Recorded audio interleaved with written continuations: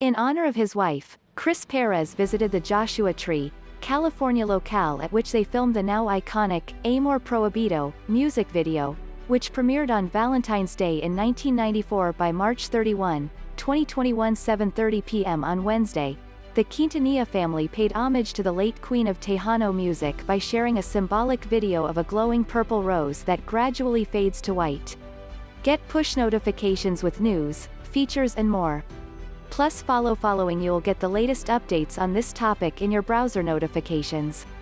The rose is in remembrance of Selena's favorite flower, as well as a dream that Selena reportedly had many times before she was killed. Several of her longtime music listeners believe it was a premonition of her death. Purple and black were also Selena's favorite colors. In the repeated dream, which was said to have frightened the late star, Selena reportedly saw a white rose that was thrown at her, but she could never catch the rose, nor see who threw it, and the dream was said to have ended with the appearance of a white light every time. Additionally, because Selena adored her signature white roses, her dad and former manager Abraham Quintanilla, 82, asked fans to bring them to her April 3, 1995 funeral, where more than 60,000 people were reportedly in attendance.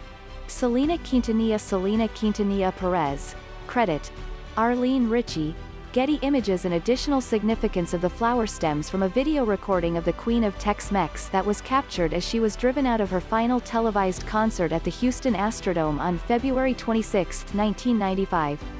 In it, a fan is seen throwing a white rose to the star, but much like her dream, she does not see, nor catch the flower. It then lands on the ground behind her as she smiles and waves goodbye to the audience at her last major performance. At the time, the concert drew a record-breaking number of attendees to the venue. The Quintanilla family also included a white rose at the end of Selena, the biopic. On Facebook Wednesday, the Quintanillas live-streamed footage from the concert at which Selena wore the purple jacket outfit that was memorialized in her Madame Tussauds wax figure. She captioned her Instagram post in her native language, writing, Te amo y te extraño, which means, I love and miss you. Selena's brother A.B. Quintanilla, 57, shared a vibrant painting of the songstress and simply captioned it, Miss Ya's sister.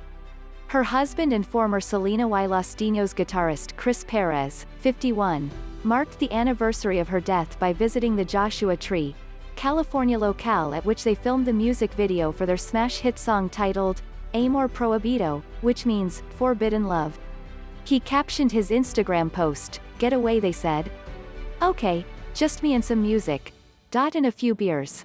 To the place Selena and I came to film her Amor Prohibido video.